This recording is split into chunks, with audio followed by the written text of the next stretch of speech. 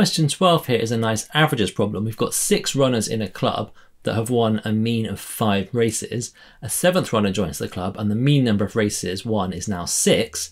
How many races has the seventh runner won?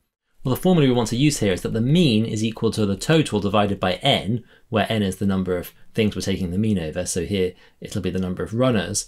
And uh, we can rearrange that to give that the total is equal to the mean times n. We use this a lot in these sorts of averages uh, problems. So when there are only six runners in the club, uh, the n is 6 and the mean is 5, so the total number of races uh, that those six people must have won is 5 times 6, or 30.